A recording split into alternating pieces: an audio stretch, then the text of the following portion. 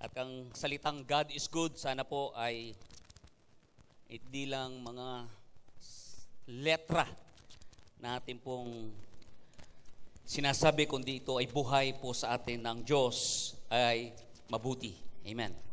Kaya nga sa ating pong pag-aaral sa buong taon, na maging makatotohanan at maging tunay ang Diyos na personal sa ating mga buhay. Amen. At tayo ay magamit ng Panginoon na masabi nga po natin sa maraming mga tao that God is real. Amen. So yun po yung ating tema sa buong taon. God is real. At ang sinasabi nga po ng ating unang quarter ng ating tema is God, healing is reality. Alright? So ang kagalingan ay ito ay tunay at totoo kung paano ang Diyos ay totoo, tunay, ganun din ang kagalingan, healing is a reality. Alright. So sinasabi po sa Romans chapter 1 verse 17. Okay? Nabayata. Nagko-configure pa. Alright. Dali. Parang voice command natin ito. Move! Pakisara ah.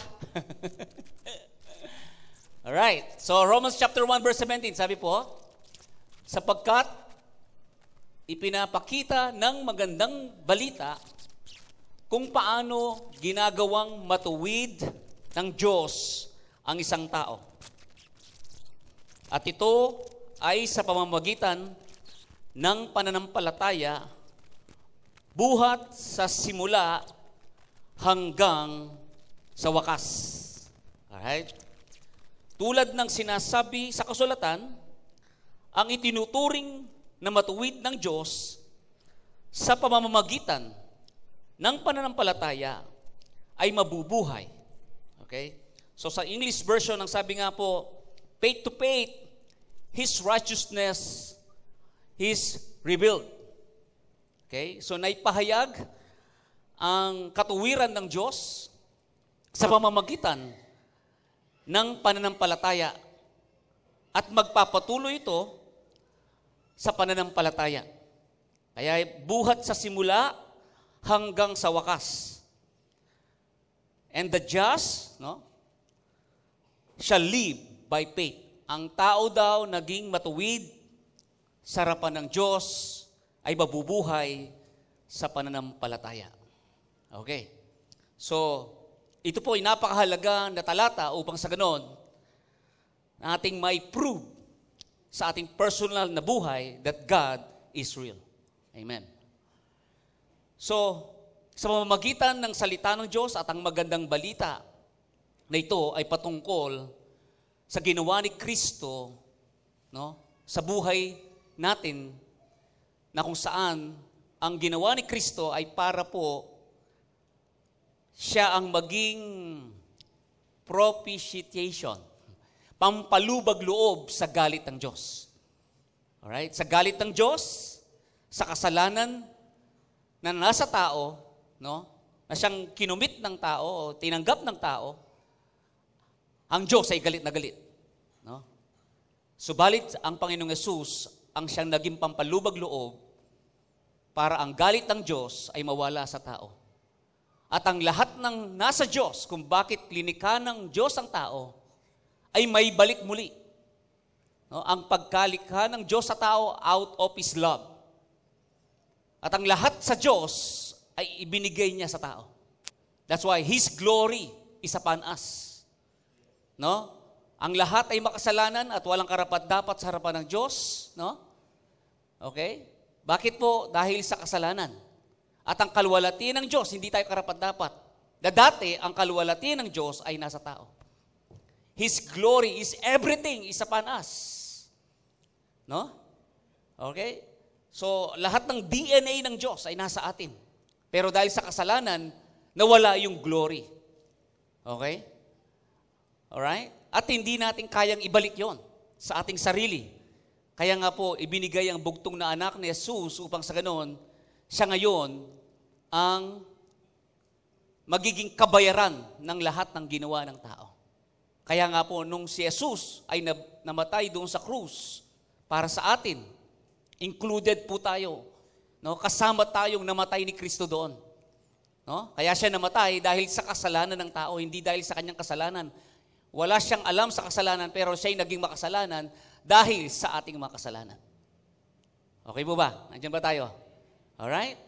Kaya po, sa pamamagitan ni Jesus na siya ang daan, ang katotohanan. No? Si Jesus ang daan at katotohanan sa Diyos.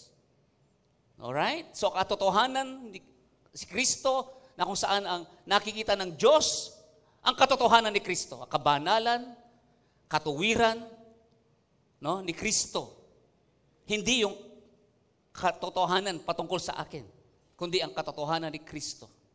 At ang katotohanan ni Kristo ang siyang daan sa Ama. Hindi yung buhay ko, kundi ang buhay ni Jesus ang daan sa Ama. That's why He is the way, the truth, and the life. Amen. At yung lahat na yan ay ginawa ni Jesus para sa atin. O kaya nga, sa pamamagitan ni Jesus, ang lahat ng glory ng Diyos, lahat ng nasa Diyos, ay mapupunta sa atin dahil ito ay na kay Kristo at si Kristo ay nasa akin.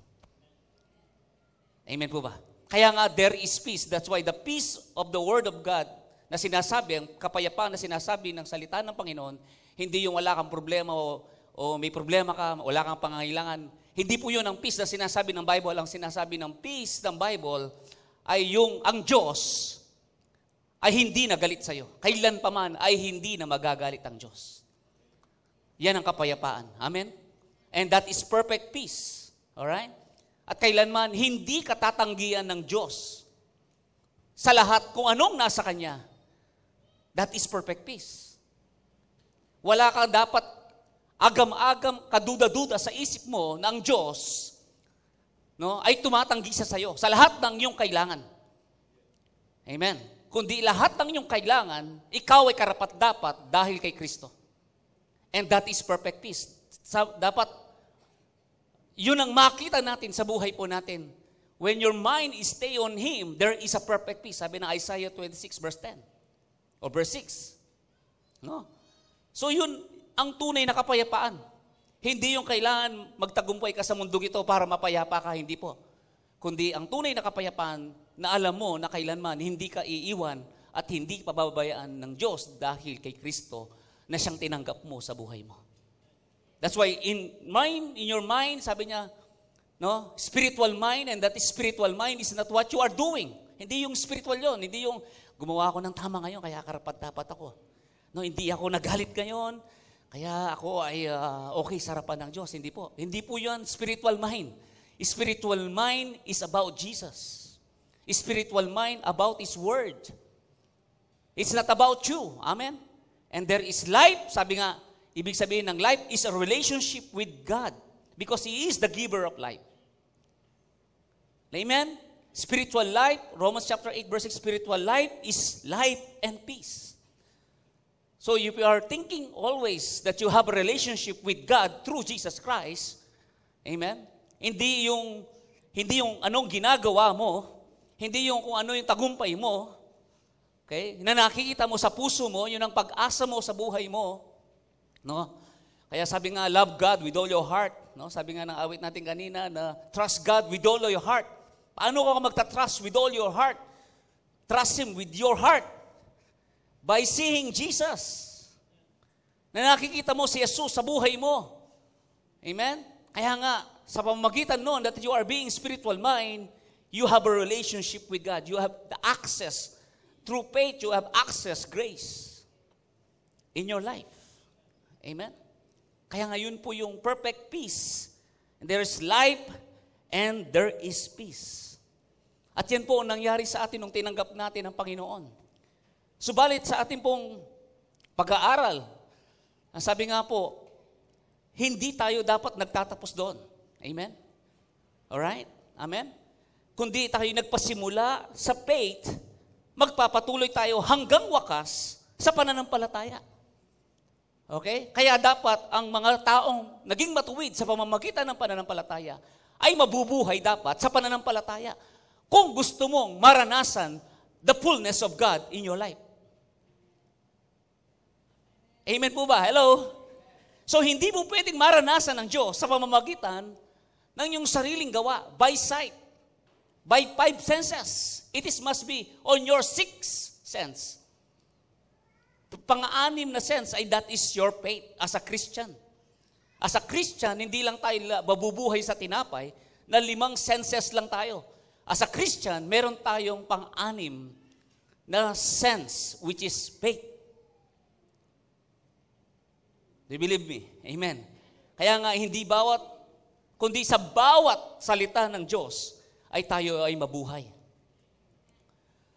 Amen. Na kung saan ay nangungusap ang Diyos sa ating mga puso. Alright? And yun ang guidance. Kaya nagpasimula ka sa faith at magpapatuloy ka hanggang wakas dapat ay sa pananampalataya. Kaya nga, kung gusto mong maranasan kung sino ka sa Diyos, kung paano, listen carefully, kung paanong noon ay naranasan mo na siya. Nakita niyo bang namatay si Kristo? Doon sa krus. Pero naranasan niyo ba ang kanyang kamatayan? And that is faith.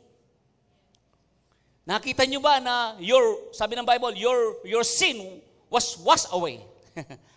ang iyong kasalanan ay uh, kinarwas.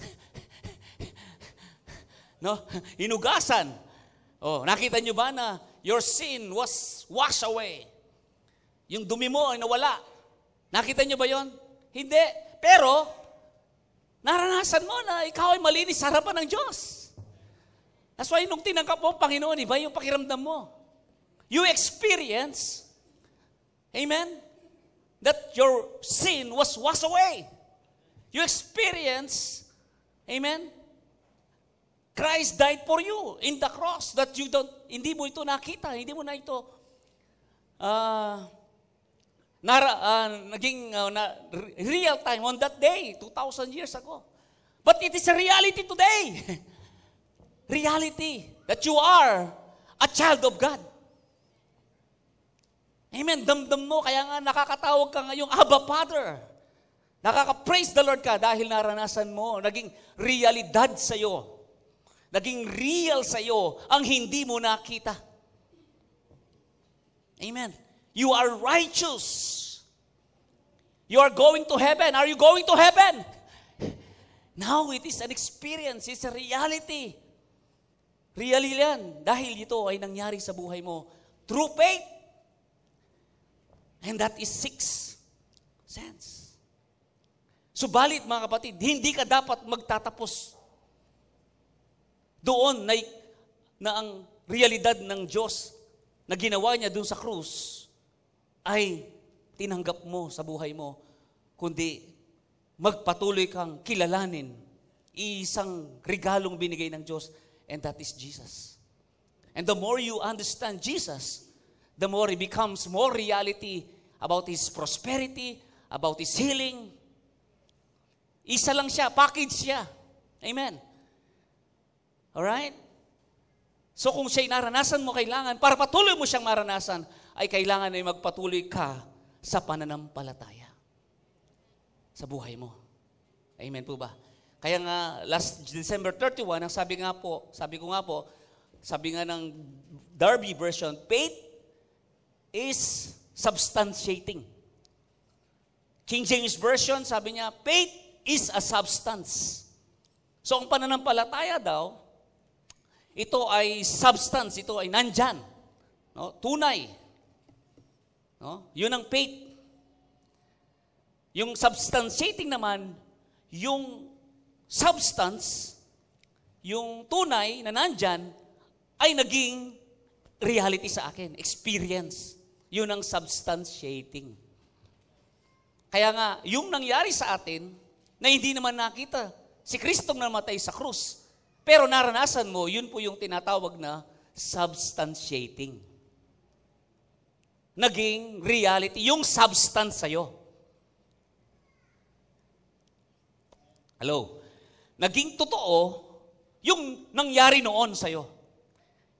Oh, hindi yung naging totoo dahil nangyari pa lang. Hindi po, nangyari na, substance na. Are you with me? Hello? sa, yung nangyari na na substance, ibig sabihin, substance, nangyari na nandyan, true faith, ay nangyari yon ngayon sa buhay mo. Yun po yung tinatawag na substantiating. Yung substance ay naging karanasan mo sa buhay mo.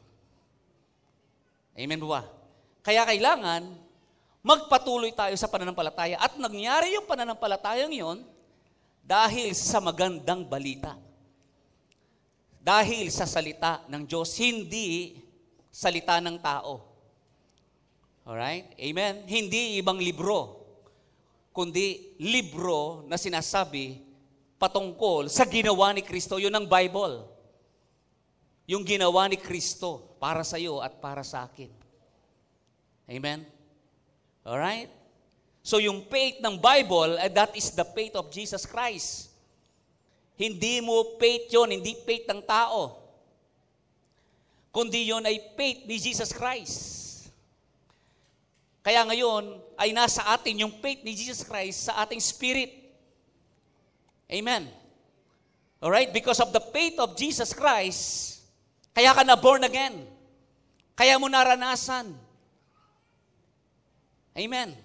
Yung substance, about spiritual substance, no? Na hindi nakikita ng mata. Hello? Okay? Amen? Oh, naging substance sa atin ngayon. Alright? Kaya po kailangan, kung nagpasimula tayo doon, ay magpatuloy tayo. Bakit? Kasi, yung spirito natin ay kailangan ang patuloy ng understanding ng mind dahil ang, ang mind natin ang siyang pumipigil The spirit is willing, but our mind is contra- contracting. Kokontrayo. Kokontrayo. No?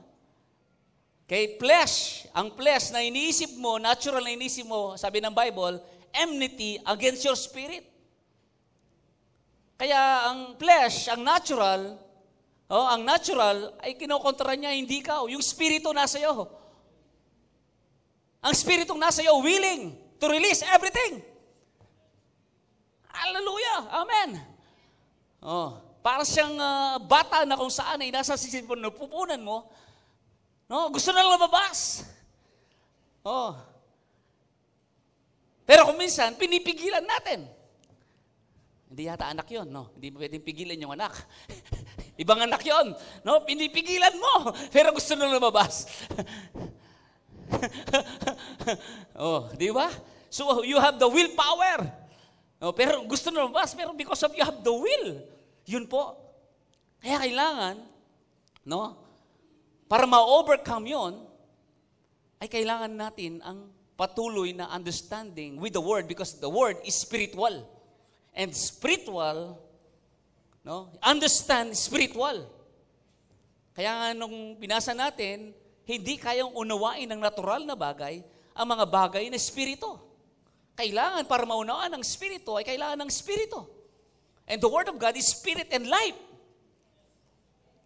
Amen. Kaya huwag tayong magtaka kung hindi natin nararanasan.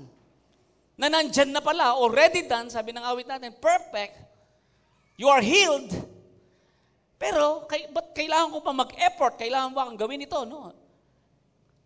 Iba kasi yung understanding natin, it's not about spiritual, it is about natural. Na born again ka, hindi not about dahil gumawa ka ng tama, naging mabuti kang tao, na dating masama ay naging mabuti ka, kaya ka na born again, kaya ka ikaw ang anak ng Diyos. Ngayon, hindi.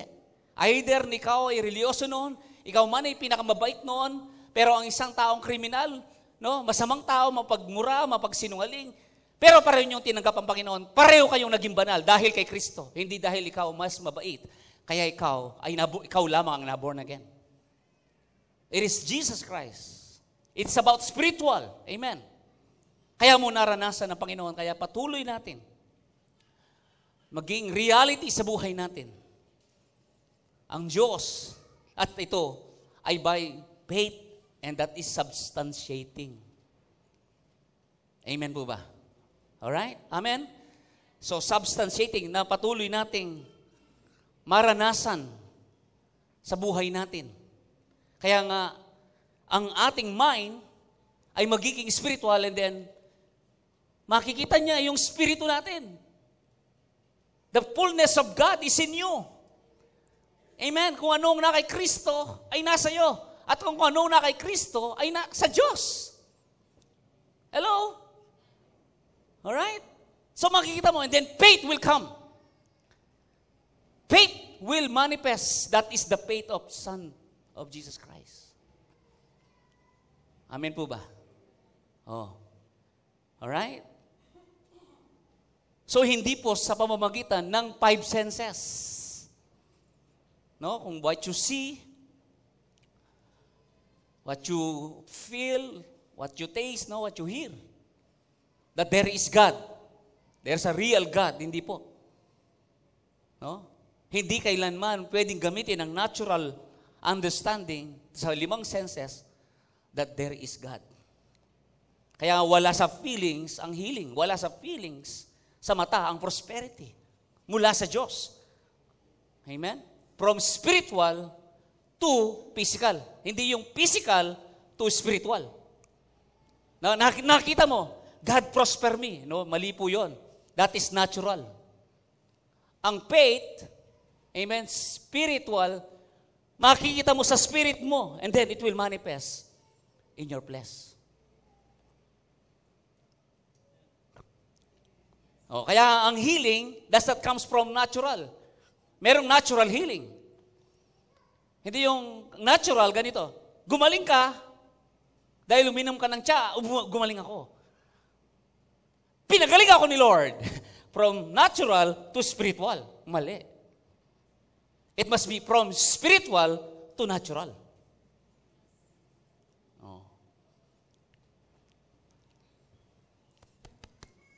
Kaya kailangan makita mo dito sa puso mo ang Diyos.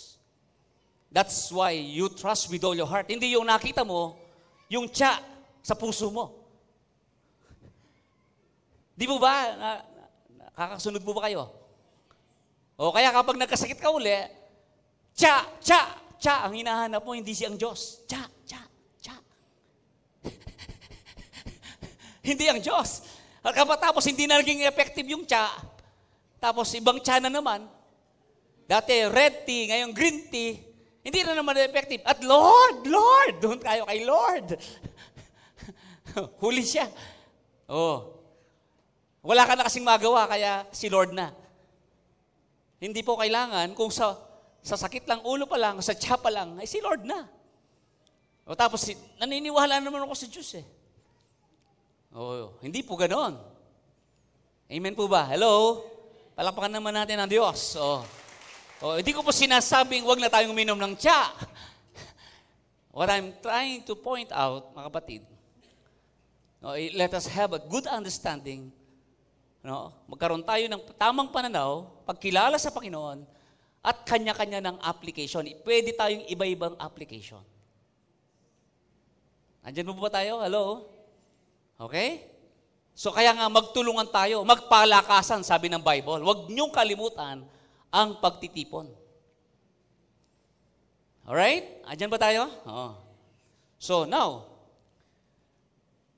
so may, mayroong tinatawag na five senses, alright? Okay, listen carefully. Para ma-depreciate natin yung faith at saka yung natural na sinasabi po ng Bible. No? Sinasabi rin ng tao. Alright? So, dati, hindi pinaniwalaan.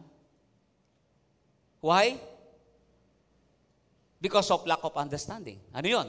That is law of gravity. Okay, law of gravity. Law of gravity was discovered by Isaac Newton. Tama ba ako, science teacher? Alright? Isaac Newton. It was discovered by Isaac Newton. Law of gravity. Nakikita niyo ba yung gravity ngayon? Hindi. Alright? So noon, hindi alam ang gravity. Yung batas ng gravity. Alright? So ang gravity, hindi ni maintindihan ng tao. Kaya nga, careful siya sa kanyang paglalakad. Know? Careful siya sa kanyang ginagawa. Kasi baka lilipad siya. Alright? So hindi nagiging reality yung gravity sa kanya kasi hindi niya naunawaan. Until such time, na-discover ni Isaac Newton ang law of gravity at naging realidad at naging kagamit-gamit yung gravity nung nalaman ng tao ang patungkol sa gravity. Amen po ba?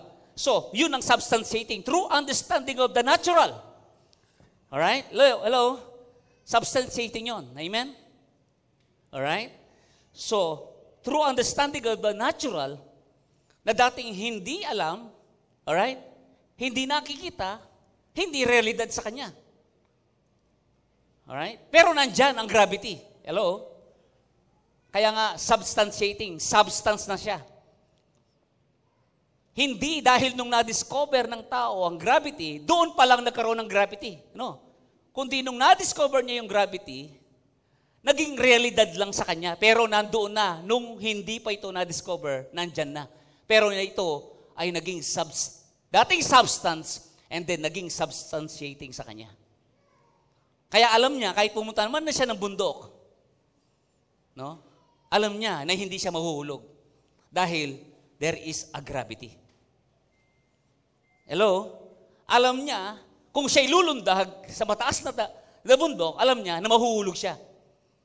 Because of law of gravity. Hello, naintindihan mo natin? Oh. So, yung law of gravity na hindi mo naman nakikita, but it is reality, that is substantiating. Using five senses. Hello?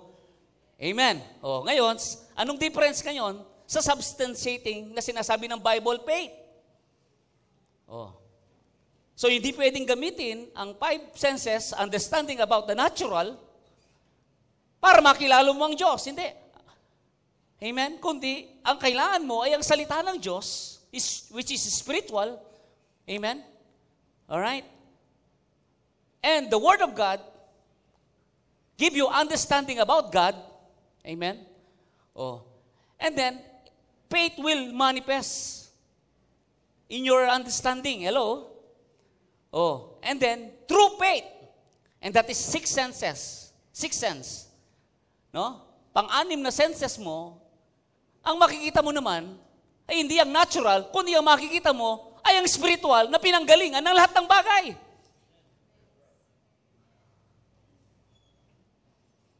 Antindiyan tayo po. Kaya nga, my son, give attention to my words. For they are life to those who find them and health. So merong kagalingan sa natural, sa five senses, meron. Amen? Hindi mo sinasabing wala doon.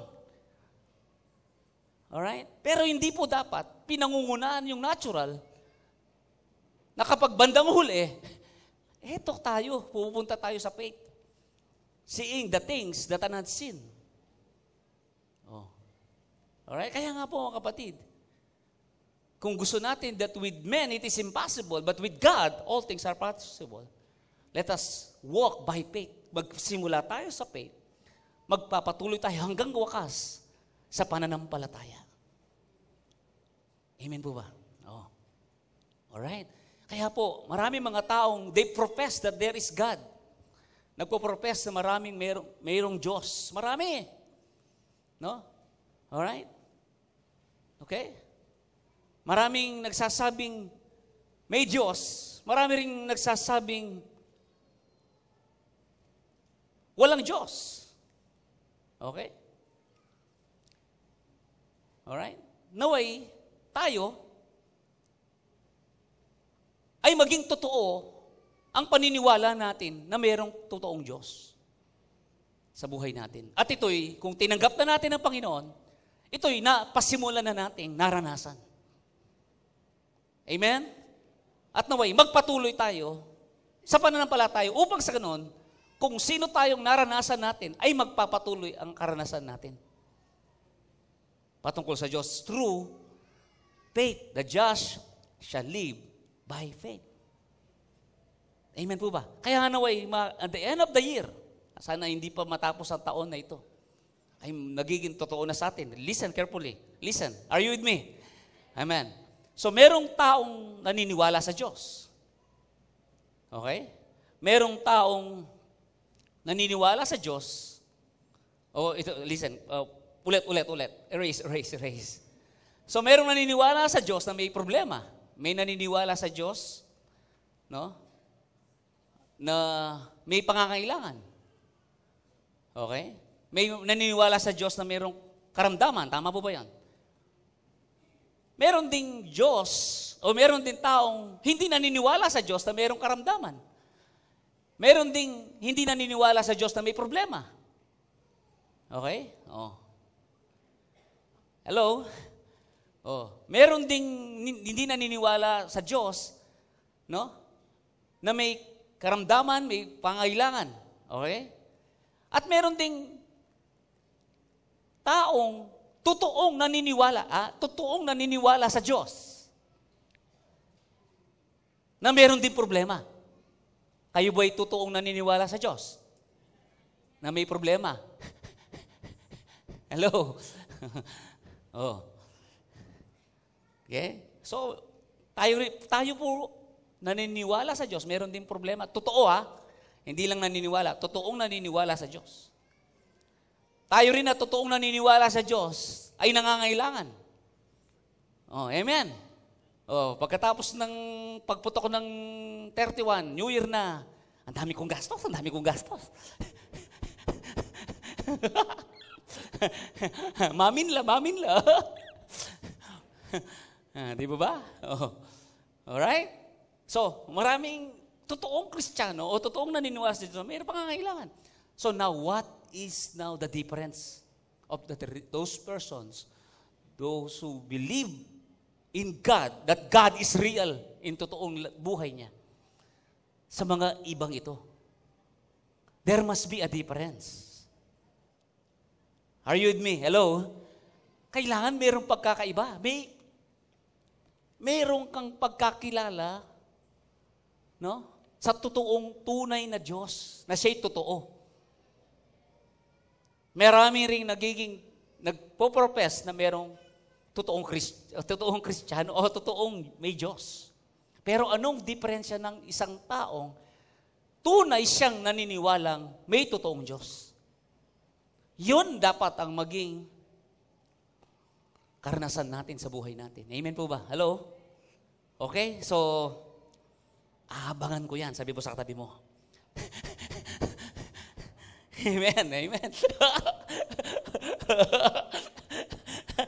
Parang may pang-insulto yung isa. Abangan ko yan, ha? Alright? Amen. Alright. Oh. Alright? Amen. Now, so sabi po, it's very hard to prove that there is existing God. Oh, mahirap daw na i-prove na meron talagang Diyos. Alright? Oh. Sabi naman ng ilan, walang Diyos kasi ito'y ideya lang ng tao. Walang Diyos kasi ideya lang ng tao yan na may Diyos. Okay, kasi naman nakikita niya sa karamihan ng tao na may naniniwala sa Diyos, walang naniniwala sa Diyos. Merong Bible, merong ano, halos pare-pareho lang. Kaya, ideya lang na may Diyos. Yung walang Diyos, umiiyak. Yung naniniwalang may Diyos, umiiyak. Yung di naniniwalang may tunay na Diyos, ay umiiyak. Kaya ideya lang ang may Diyos. Idea lang daw yun na may Diyos. Okay? Oh. Imahinasyon lang ng tao na may Diyos. Kaya walang tunay na Diyos. Yung iba naman, sabi, ay nag-evolve ang mundo no? from, from a uh, stone and then pumutok Big Bang theory, Darwin theory na unti-unti ay nag-evolve, evolution at ito ay gumaganda at umuusbong ang halaman, nagkaroon ng chicken, bird, no? Si Darwin theory naman from unggoy, no? Kaya nabuo daw ang mundo. Oh, kaya nga walang Diyos na naglikha ng mundo. Paganda ng paganda. From nothing, from darkness, ay paganda ng paganda. Ngayon, ang tanong, kung paganda ng paganda, bakit naraming nagpapaganda? kasi pumapangit. so kung evolution ang pinag-uusapan, no? Na paganda ng paganda, kailangan wala pumapangit. Ay, parang hindi kayo na... Hello, di ba? Kasi evolution eh, yung paganda na paganda, nag-evolve. From unggoy, gano'n, tapos nagkaroon ng tenga, nagkaroon ng uh, tumangos ang ilong, dahil tinakaganon. Tapos tumatangos, tumatangos. So, ba't mayroong ganon? Hindi lahat matangos. Di sana ay nag evolve dapat tuloy-tuloy yung paganda ng paganda at hindi pa, pa sira. Ngayon, pasira. Hindi ganoon ang evolution. Ang evolution, eh, walang pasira, kundi paganda. Oh, di ba ba? Hello? Kaya nga, if there is a life, there must be a life giver. Eh, walang pwedeng may buhay na walang nagbigay. Hindi pwedeng mayroong creation na walang creator. Merong, merong lilika na walang malilika. Oh. Kung may na-design, there must be a designer. Oh. Kaya nga mga kapatid, hindi na natin kayang i-prove ngayon, sa panahon natin ngayon, sa pamamagitan na si, si Noah's Ark nakita doon sa Mount Ararat, hindi natin pwedeng i-prove that there is a real God. We can now prove that God is real through your life sa pamamagitan ng inyong buhay, that you are walking by faith, that you see God. You see the real God through faith, and that is in your heart. Sa pamamagitan ng pananampalataya na nakita mo na si Kristo ay namatay doon sa krus, magpatuloy mong makita ang langit, ang Panginoon na siyang namatay doon sa krus sa puso mo, then you can prove it sa lahat, sa lot of people, sa maraming mga tao, that there is a real God through your life sa pamamagitan ng inyong buhay, mga kapatid. Amen po ba? At ito ay reality. Bago mo ma-prove sa iba, reality mo muna sa buhay mo. Sabi nga ng, ng Timothy, ikaw mismo nagsabing magsasaka, ikaw mismo ay naranasan mong masarap ang iyong sinaka. Yung, yung bunga. Bago mo sabihin na masarap. Kaya ikaw muna ang nakikinamang yung sinasabi ng Bible. Ikaw munang nakikinabang. I'll bless you so that you will be a blessing. And that blessing is not material. Blessing is Jesus. Amen. At dahil si Jesus, ang siyang nasa iyo, kano ang nasa kanya, ay sa iyo rin. Kaya nga, out of Christ, sa pamamagitan ng iyong relasyon sa Panginoon, prosperity will come. You don't need prosperity. You need Christ. Amen. That's why the gospel is about Jesus. The power unto salvation at ang salvation is sozo. Kaya nga, yung ating main text, introduction pa lang yun. Amen. Yung aking main text is Second Chronicles 7.14. Oh. Okay? So ito yung main text na dito na ako magtatapos. Alright. Ngunit, pwede natin basahin tayong lahat. 1, 2, 3. Ngunit, nagtataglay ng aking karangalan, magpapakumbaba, manalangin, hanapin ako, at talikuran ang kanilang kasamaan, pakikinggan ko sila mula sa langit. Patatawarin ko sila sa kanilang mga kasalanan at muli kong pasasaganain ang kanilang lupa. Sa King James Version siya na sabi niya, If my people which are called by my name shall humble, humble themselves and pray and seek my face and turn from their wicked ways, then will I hear from heaven, will forgive their sin, and will heal their land. Kung titingnan natin ang verse 13, dapat basahin natin ang 11 to 22. Yung heal their land, hindi lang po yung yung uh, ang bayan ng siyang pagagalingin, pasasaganain, kundi pati yung sakit. Because ang sabi ng verse 13, I will shout down heaven, I will shout down rain. Ano? Uh, isasara ko ang langit, sasara ko ang uh, ang uh, ang ulan, sabi niya, at magpapadala ko ng malalang sakit. Listen carefully. Kung babasahin niyo 'yon, ang Diyos mismo ay magpapadala ng malalang sakit. Akala ko hindi nagpapadala ng sakit. So, kailangan nating maunawaan yon. And then sabi niya, I will heal their land. Paano sila i-heal? Listen, by calling the name of God. And the name of God is very sacred. No? Hello? Kaya nga, prayer, prayer, my dear brothers and sisters, it's about God. When you pray, it's about God. No? So, kung sila daw ay uh, tatawag sa aking pangalan, kaya nga kung titignan natin, in the name of Jesus, in John chapter 15, whatever you ask in my Father, in my name. All right? In my name. And the name of God is holy and sacred. At paano mo ito mo sinasabing holy at sacred? No? Kung without understanding. Kaya nga marami sa ating mga Kristiyano at kasama na ako doon, I use the name of Jesus, in Jesus' name, in Jesus' name. Lakad ka. oh, di ba? Oh, but wherein the name of God is holy, and whatever you ask in my Father's name, then you will receive it. Oh, kaya nga po yung sabi ko, gamitin mo lang yung pangalan ko, punta ka ng inasal, hindi ka bibigyan ng inasal. Kasi hindi ako kakilala doon. Pero gamitin mo yung pangalan ko, punta ka ng Karika Herbal Product, bibigyan ka ng discount. ah, alright? Ba- ba't nasabi ko yon?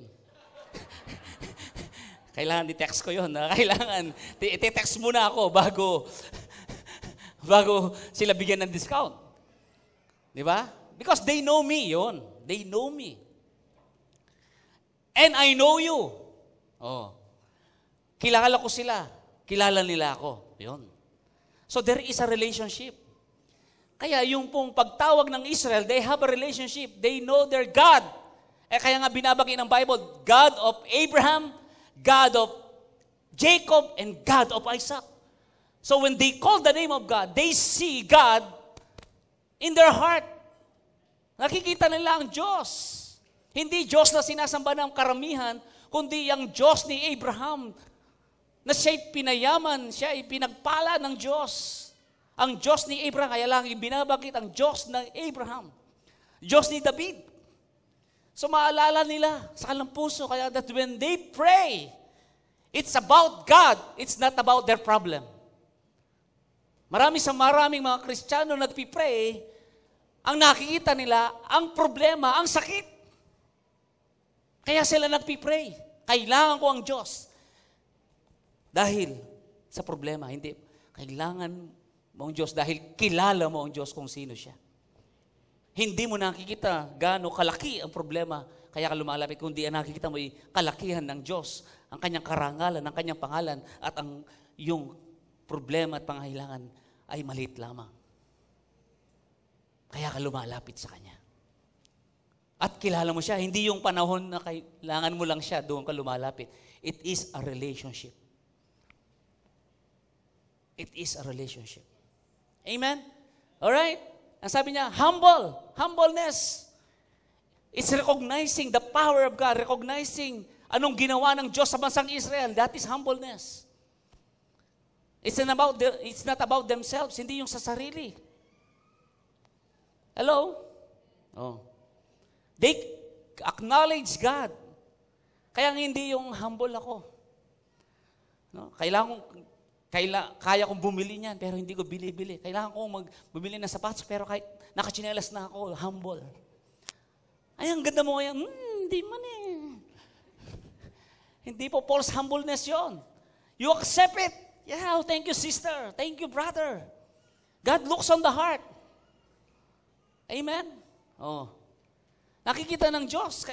Uh, um, hindi man eh. Pero sa loob niya, oh, nga, no, ganda ng nabili ko. oh, di ba? Oh. When you acknowledge God in your life, He is my beauty. Ang Diyos ang aking kapangyarihan. Ang Diyos ang aking kagandahan sa buhay ko. Oh. So, when they acknowledge you, then receive it.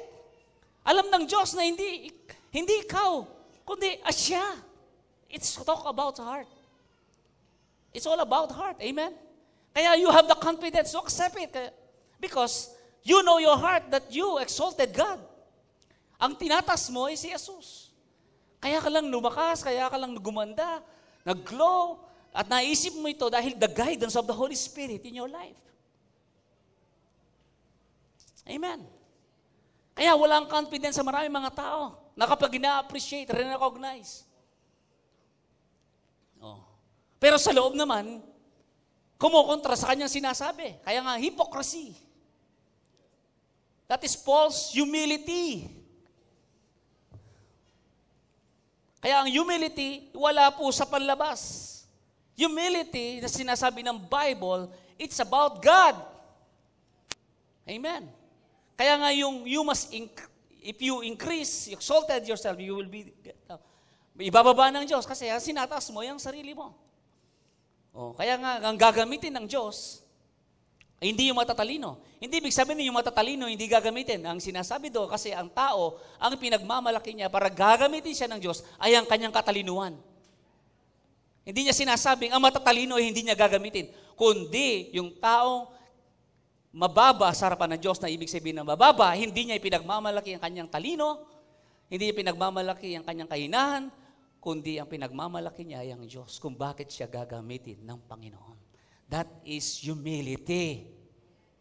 Palakpakan natin ng Panginoon. Amen. That's why when we pray, when we come, we acknowledge Him. Amen? And pray. Yun ang sinasabi, no? Commune with Him, about Him. And seek my face. No? May, bang, may mukha pang Diyos? Nakikita ba ng mga Israel ang mukha ng Diyos? Oh. Let us seek the face of God. Saan yung mukha? Ito ba yung Diyos? Ito ba yung mukha ng Diyos? Ito ba yung mukha ng Diyos? Ang pangin naman ang mukha ng Diyos. oh. Paano makikita ang Diyos? Through your understanding about Him. Hello? Kaya nga, they seek their face, God in their lives. What is their experience to their ninuno? Their forefathers, they're very important. Mahalaga sa kanila. Importante sa kanila ang mga nangyari sa ninuno. History is very important. Kaya huwag niyong kalimutan, sabi ng Diyos, na ilagay sa mga anak ninyo yung, yung law sa kanilang kay uno para maalala nila. They seek God. They see God. They're the face of God, the beauty. God is good. This glory. Amen? Na kung saan ng templo ay mayroon pong apoy. No, nung sila naglalakad, may apoy. O, ng templo, may apoy, no? May clouds. That is the face of God. Oh. That is the description of God in the Old Testament.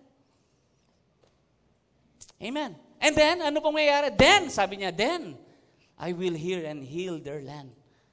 So, ibig sabihin mga kapatid, produkto. Kaya nga, healing, prosperity, amen, is a package. Hindi po yung nung sinik ko ang pace, sabi niya, dadagdag ko. Hindi po dadagdag, kundi mamumunga of your relationship, out of your relationship with God, magbubunga ang kagalingan. Kaya nga package, ang gospel, ang salvation, it's a package. You don't did another thing. If you have God, you have Jesus, you have everything. Amen po ba? Ang kailangan lang, hindi lang natin maranasan ng kanyang kamatayan doon sa krus para sa kapatawaran ng kasalanan natin, kundi ang lahat ng nasa Kanya ay maranasan natin sa pamamagitan ng paglakad sa pananampalataya.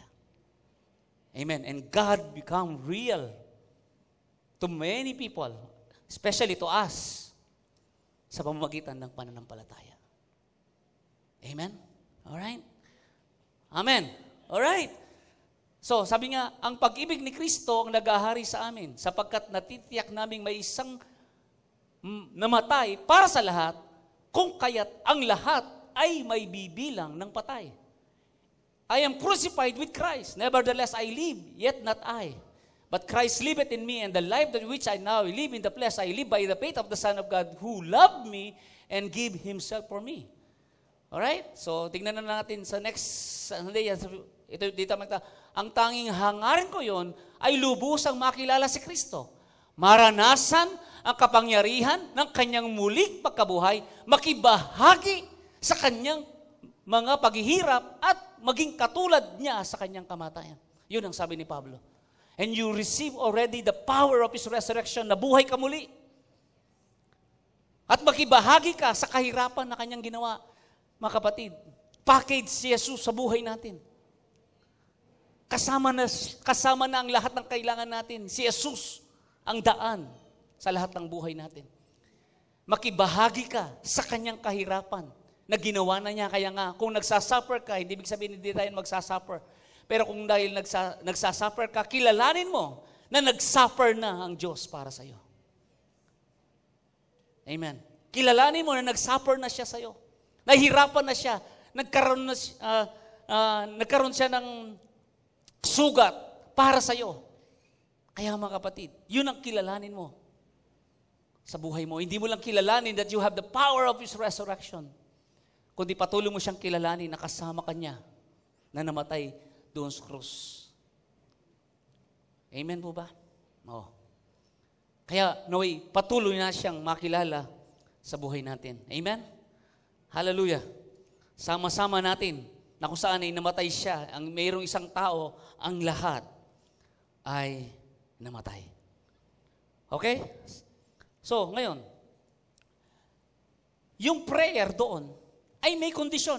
If, kung, kung gagawin niyo ito. No? Talikuran o mag-humble kayo. Pero kung hindi kayo nag-humble, hindi ko kayo pagagalingin. So may kondisyon. But in the New Testament, there will be no condition. Kahit hindi ka nag-pray, God already healed you. Oh. Amen. Oh. Okay? Amen? So, in the Old Testament, sabi niya, nagbigay ako ng sakit.